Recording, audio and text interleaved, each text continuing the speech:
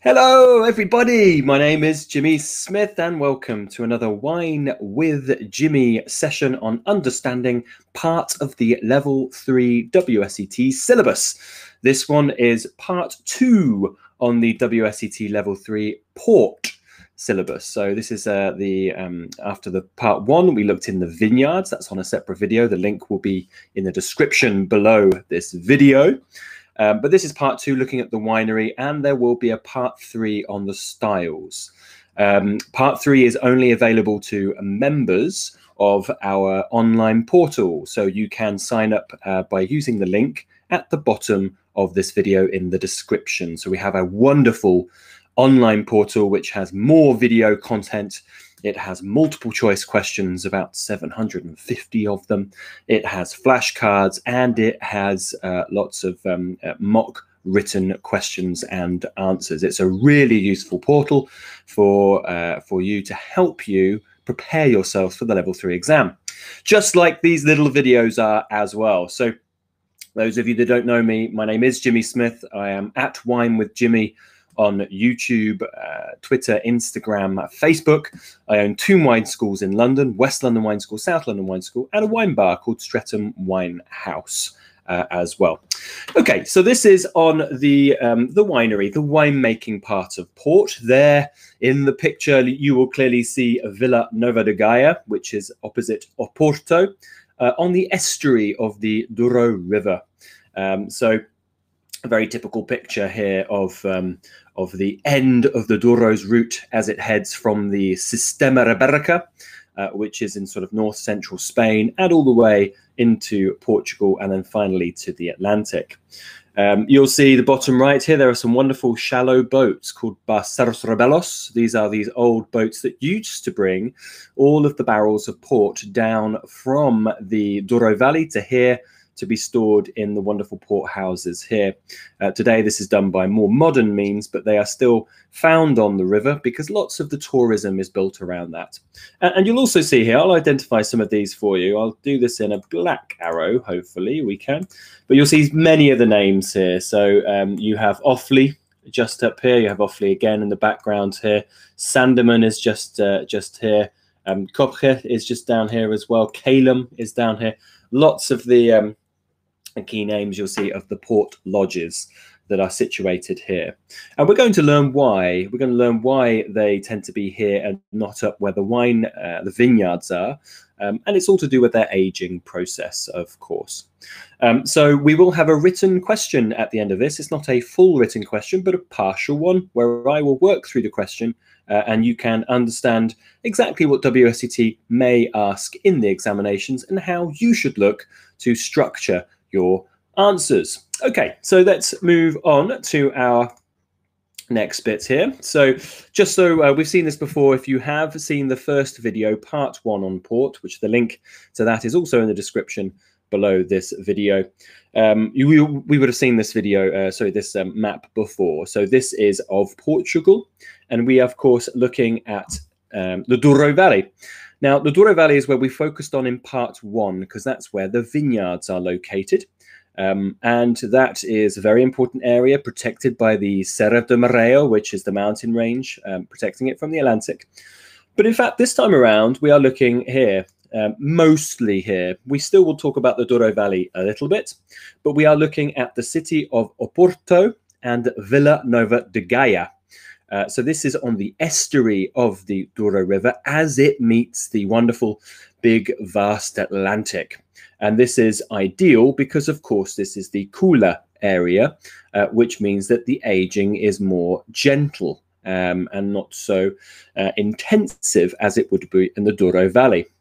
The Douro Valley, where some ports are aged, um, is much warmer, uh, and the, the wines there will mature much quicker due to the heat conditions. So that's why they do tend to find them down in Oporto, for instance.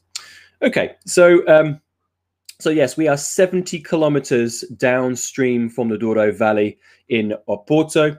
Uh, and we're going to talk now about the winemaking. Now, from the end of part one, we talked about uh, the grape varieties, um, of which you need to recognize. You don't need to be able to really talk about them so much, but recognize them certainly for multiple choice. Um, so, we're talking about those grape varieties coming into the winery and then what happens upon reception in the winery and then through its fermentation, fortification, and maturation. That's the processes that we will start to work through here.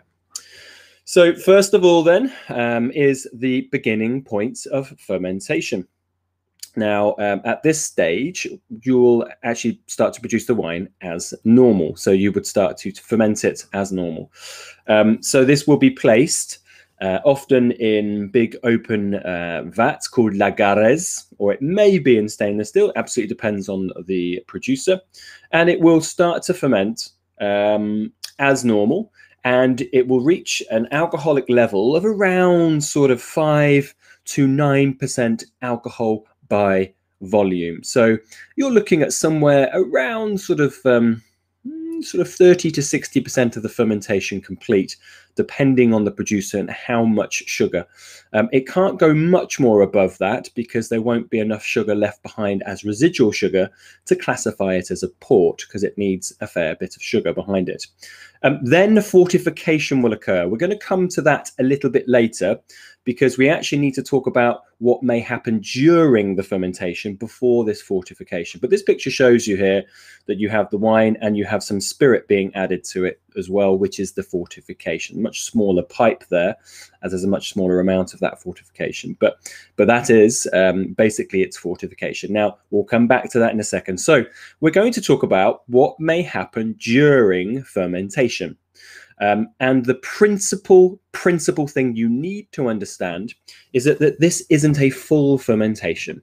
So when you're making normal, still red wine, you ferment up to dryness. Okay, so maybe you have a potential alcohol of somewhere around 13%, and you fully ferment up to 13%, leaving little or no residual sugar left behind. And that makes, of course, a dry red wine. We know that port is sweet. So the um, the area, the the ability to get it to sweetness or keep its sweetness is by stopping the fermentation early, and that's by that addition of fortification. So that means that that fortification will happen at around five to nine percent, not at 13 or 14 percent. So it happens during its fermentation. During its fermentation. So um, that means that you need to really extract the color, the tannin, and the flavor from the skins of the grape in a much shorter time scale because you are not running a long fermentation of weeks. Um, you are running a, sh a, short fermentation of really one to two days. So you need to be able to extract as much as you possibly can in that short period of day uh, uh, time, one to two days, um, by maximizing extraction. So there that is what we're going to talk about. We're going to talk about two major methods and then two sub methods of ways that wineries here in northern Portugal will maximize extraction during that short fermentation uh, process. So let's go through those. Now, the most obvious one to begin with is certainly the traditional one. We always should begin with the most traditional style. And here you see a group of which looks like all men. Um, it doesn't have to be all men, but we have uh, a group of people who are in an open-aired lagar. And the lagar is a, a this kind of granite um, open-aired trough or vat uh, of which the grapes are placed into this. Uh, and basically what happens is um, you know, these men will get in, these people will get in, uh, and they um, they for around three to four hours will actually tramp uh, trample the grapes. They will press the grapes, crush those grapes. Um, fermentation will eventually begin after around three to four hours, and that's when they'll exit it. Basically, because carbon dioxide will be given off as a byproduct and it becomes quite a dangerous environment for a load of people to be milling around in. Um, you may see also at some sort of press events and uh, fairs and social events that this will happen. But then there's something called the libertad, which is declared the freedom, where people move around freely. They start to move very sort of um, structured uh, methodologically, and they move up and down, arm in arm, as you can see. But the libertad is declared. They freely run around, and if there's cameras um, taking lots of pictures, you might even have a folk band in there and people dancing around to crush the grapes. It's quite a lot of good fun. Um, so you have uh, crushed these grapes. Now, one thing to immediately realize is this traditional method um, is in fact the benchmark against which all other methods are judged and manipulated to be like. So um, all these modernizations of uh, ways of extracting color, tannin, and flavor as much as possible is by mimicking often uh, this process. Um, there is some different ones, but a lot of them will mimic it or try to extract as much um, of the extraction as possible, the color, the tannin, and the flavor. So this is today done for fine ports, small batch ports, small wineries, and for press and for you know, for, for the cameras and for the fairs. Um, not everybody does it, but it certainly is something which is still seen as mightily important. Um, another method, of course, with modernization, something was created called an, called an auto vinifier. So this is one of the first inventions to automate the extraction process. Um, crushed grapes are put in into these sealed vats, and you can see here in this picture. So what's here, um, and I can sort of outline this for you. Let me draw a bit of a line, and that will help you a little bit here. But this whole area here is where the crushed grapes will be put in. Okay, so that's what's sitting here. Okay, and that top part here is called the cap, because that, of course, will contain the pips, the skins, um, and so on. As they are uh, less dense than the juice, they rise to the top. Um, so really what this is designed to do is to maximize the, um, the extraction from that cap by maximizing contact with the juice. And that is by utilizing what is given off naturally from fermentation, which is the carbon dioxide. So let's just um, chat through exactly what happens then. So, so those crushed grapes are put in that sealed vat as I just outlined them. Um, there is some rising pressure of carbon dioxide here because, of course, you've got fermentation, and that pushes the must up pipe B. So let me show you where that is. So the must then comes up here, okay, and then comes into this holding tank. Uh, so this is what we call holding tank. Holding tank. It's actually labeled as number one here. Okay, so it's then in the holding tank. Now, when a certain pressure is obtained, there is a valve just here. This is valve C.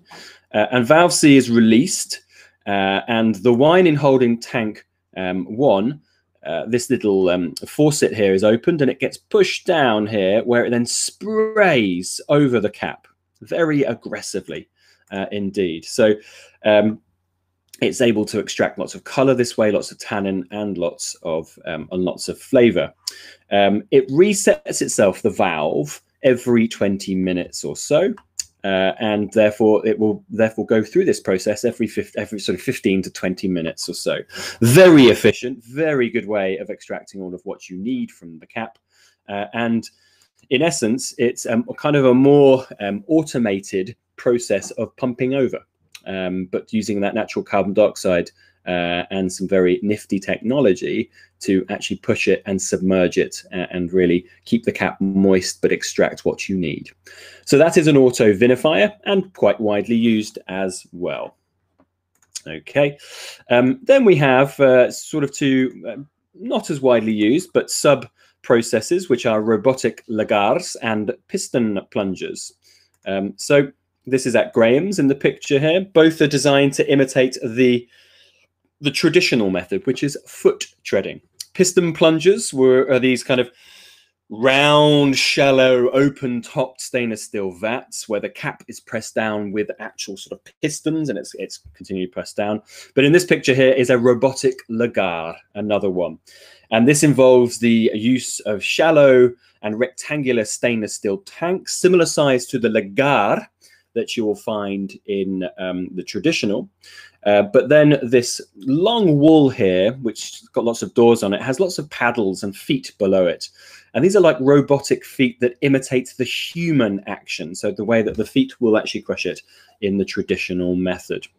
Okay, so so there you have um, four methods, two major methods that you will need to know. So the foot treading, the traditional way, the auto vinifying, and then these ones, the robotic lagar and the piston plunger. Remember that they're all designed to extract very quickly extraction of the juice. So that is uh, the skins, sorry, of, um, tannin, flavor, uh, and and and color as quickly as possible because really you have uh, around 24 hours to 36 hours to extract this. Uh, so it's a very um, a very very uh, quick process. So we get to our point where um, fortification will come in. So we've maximized the extraction at this point. We have what we need in color, tannin, and flavor. Um, fortification is added. So this fortification is a spirit of 77, well, up to 77% ABV called Aguardente. And let's just scribble that down uh, at the top. Sorry, let me change the, the slide, which I should have done. Um, here we go. So in this picture, you'll see this. So Aguardente. Okay, usually about 77% ABV. Okay, so let's get the uh, arrow just to point at this. That's what's going on just just here. Aguardente. So uh, that is added. Um, it's probably about a twentieth of the total amount of wine size uh, size of the vat here, and the fermentation gets up to um, five to nine percent ABV, but you still quite you use quite a lot of this spirit. You know, approximately about fifteen to twenty percent of port is actually spirit, and if you compare this to something like another another fortified wine, like uh, Fino, for instance, that's only really three ish percent of spirit. So there's much more spirit found in ports than most sherries. Um, so it is a bit more of a spirity, heady kind of a drink.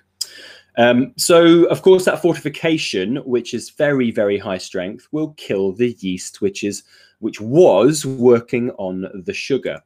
Um, and that spirit that you've added will bump up the alcohol, which would be about 5 to 9% ABV in the wine, but it'll bump it up to somewhere around 19 to 22% ABV. You've created basically a stable sweet wine at that point because it's going to have residual sugar left behind, no more yeast is there. It's died because, of course, you have um, you've killed it by the very strong spirit you've added, but you've also fortified the wine, making it very stable.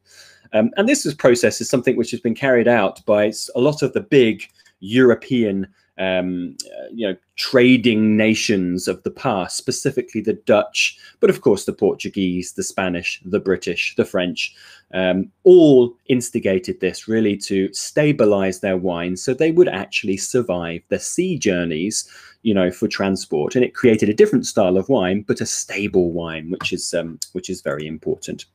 Um, so that is your fortification. So the result of this is that you have a stable sweet wine somewhere around 20% ABV. Uh, and of course, it's dark and red in color for most of the styles. Um, then will come maturation, and we're going to talk about location uh, on this, uh, and we'll talk about the vessels as well. But we won't go into um, the actual specific styles. That is saved for part three, which is available to all members of the Wine with Jimmy uh, e learning platform, which you can access on www.winewithjimmy.com. So the maturation uh, here is uh, we've got another picture up of uh, Vila Nova de Gaia. Um, and most ports are aged here, as as I identified on the first picture of the presentation. It's cooler it has that maritime influence, and this ensures a very balanced, moderated, and uh, slow maturation.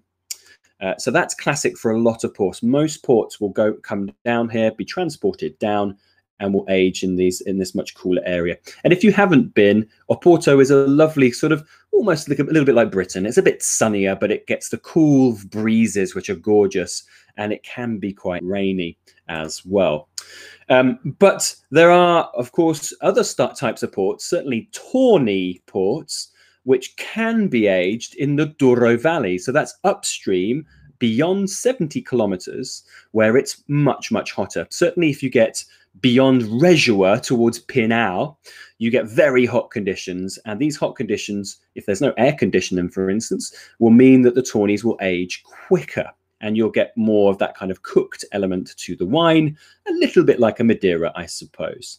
Um, but of course, with the invention of air conditioning um, and also mass air conditioning in warehouses and factories, this has allowed more and more wines to be aged on the vineyard, next to it, whatever it may be, but up in the Douro Valley. So that has been a bit of a modern approach to it. It's basically expansive cellars, I suppose. Um, and the types of vessels that we may use uh, for this maturation, which will lead us uh, into part three. Um, but we have um, basically two types of ports. We have the red ports and we have the brown ports, so what we call the ruby ports and the tawny ports. Okay, uh, and it's quite wonderfully obvious. And I know a lot of you have been studying WSET, and there's lots of intricacies about learning about this great variety and this. And, you know, Vino Nobile de Montepulciano is not Montepulciano, it's Sangiovese, and all these kind of things, these kind of um, weirdisms. This is very straightforward. Forward. The ruby ports, I put a big round red ruby circle there because they are called ruby ports because they look ruby red. Um, they are produced in methods to minimize oxidation. Um, and they are generally quite short amounts of aging, maybe one to three years in very large old oak vats, often holding 10 to 50,000 liters of wine. They are quite epic or stainless steel even and that's really to minimize that oxidation to produce a rich dark um, ruby port um, you will get deep colors of course. You will get primary characteristic characteristics. Often pronounced black fruits are very common. Black cherry black currant with licorice and black pepper is often very common with a lot of the ruby based ports. Now there are lots of different types of ruby ports including reserve ruby, late bottle vintage, vintages which start their life off as ruby, but they will be discussed on part three. The um, next one down is the brownish style ones, the tawny. Tawny is kind of like a red to brown color for wines. Uh, and these are wines that will undergo plenty of oxidation. Uh, and that is maximized. So, maximized in things like on the left in this picture. These are generally um, small pipes uh, or, or small and more shallow barrels traditionally, but they can be more generic barrels today. Um, and this aging maximizes oxidation. The wines have a bit more transparency behind them. You'll often uh, find, of course, they're kind of like a, a pale or mid tawny. Um, and they have very distinctive tertiary and secondary notes as well, but things like caramel, walnut, um, dried uh, red fruits, marzipan, almond, uh, and even some oak based characteristics as well will come through with the tawnies. But they are designed to really um, be that kind of style. They are wonderfully complex, and, and the age indicated examples probably are some of the finest um, ports out there. Okay, so that uh, that is your vessels done. Um, we're now just going to go through a few questions, just so you can understand what potentially WSET could ask, and then how you should really look to answer those questions. Um, so first of all, you have a label here on the left-hand side. Those of you that haven't uh, watched many of these videos, it is a good a real good bit of practice to get as many labels as you can from the internet and start to just answer what this wine style is in terms of how it's been made, uh, how the grapes have been grown. So that's going through natural factors, human factors, and then how it affects the style of wine. And that is really how questions will be structured for you. This one is actually jumping right in here in the human side of it. So the human influences in the winery, because it's asking, why it, is this wine going to be sweet? To be honest, this could be a label of any port uh, any red port from your syllabus. Um, there are some dry white ports, but you are not required to know those for the level three certificate. So why is it sweet? Um, so it is sweet because due to the fortification process, that is the addition of grape spirit, called aguardente at 77% ABV. This kills the yeast that was fermenting the must, uh, and that creates a stable sweet wine of around 20-ish ABV uh, but plenty of sugar. And that will get you the four marks. It's understanding that it's due to its fortification process.